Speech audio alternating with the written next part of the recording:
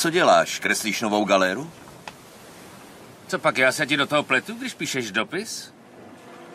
Teď se na mě vážně rozlobil. Ne, vůbec ne. Jen neříkej. Kdo je ta žena? Je to Viktorie?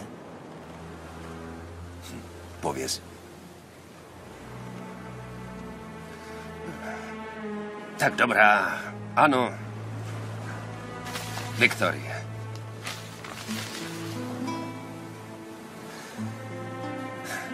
Maluji, abych na ní nezapomněl.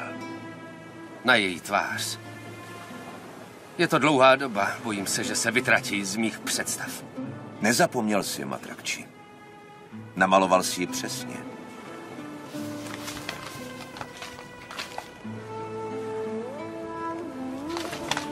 Jak je velká?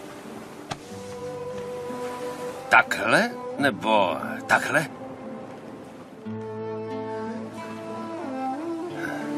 Je štíhlá. Je křehká jako ptáče. Křehká.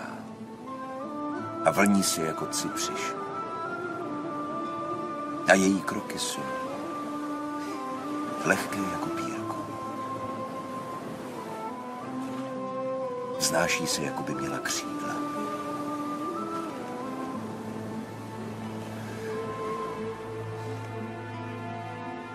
Když tě tak slyším, kam já se hrabu s Viktorií.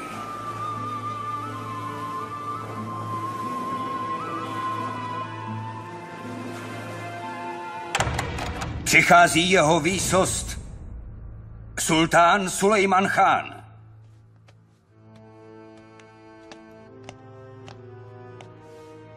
Valide, bohu dík za shledání. Vždy budu děkovat Bohu, že jsem se s tebou mohla znovu setkat ve zdraví, můj synu. Přišly nám děsivé zprávy. Málem jsme umřeli strachy. Ano, byli jsme provázeni i katastrofami. Tvé modlitby mě ochránily. Za to Ibrahim se stal mým štítem. Ochránil mě vlastním tělem před dýkou. Ale je na tom dobře. Uzdravil se. Děkujeme za to Bohu. Hatidže,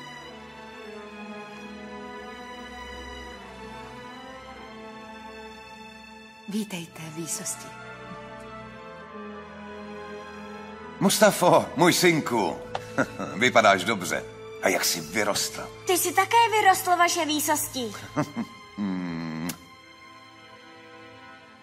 Hirem ti porodila potomka. Ale předpokládám, že to dávno víš. Narodil se princ? Nenarodil se princ, ale holčička, moje sestřička je moc hezká.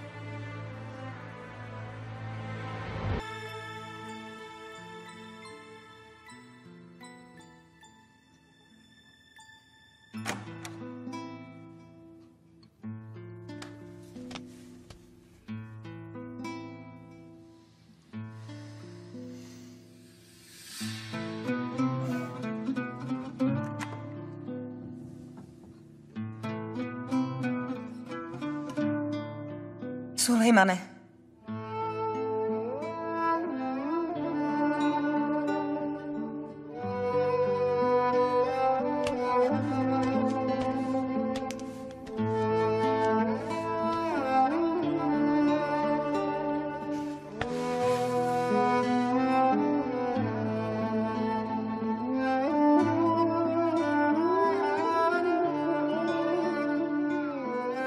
Sultane.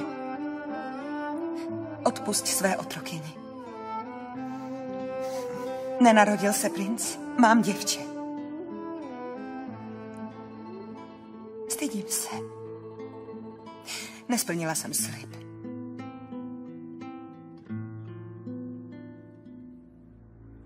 Kdybyste viděl, co se tu dělo, když k nám dorazila zpráva, že potopili vaši galéru. Netušíte, jak jste nás svým návratem potěšili. Byli jsme vyděšeni a zdrceni. Jerem pak porodila holčičku. I když toužila po chlapci, Bůh to chtěl takhle. A Hátidže je v pořádku. Ano. Ale poslední dobou je sklíčená. Proč? Mehmet v Čelebi ochořil. Ve škole upadl a omdlel. Teď se léčí. Je na nějaký čas u matky.